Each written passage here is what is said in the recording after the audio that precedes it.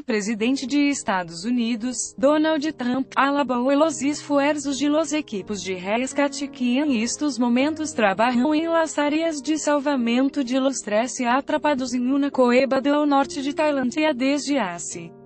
mais de duas semanas, a luz que qualificou de muito valientes y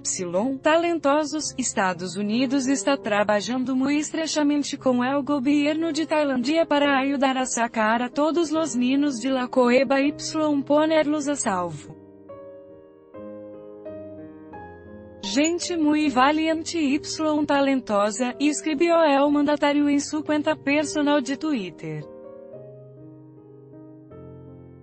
Cabe señalar que é o equipo de rescate, liderado por las fuerzas especiais tailandesas, que hace unas horas comenzó a evacuar a los menores, conta com a presença de buzos de Estados Unidos, Austrália y Reino Unido, entre outros países.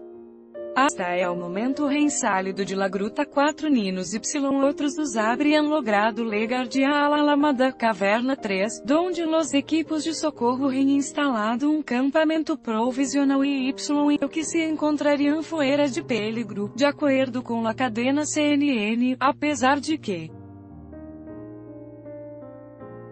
Debido à dificuldade del trajeto subaquático, as autoridades abençoou pesado em um princípio esperar a que acabara a temporada del monzón para levar a cabo o rescate, é o temor é que comenzara a escasear o oxigênio no interior de la ha acabado precipitando o salvamento.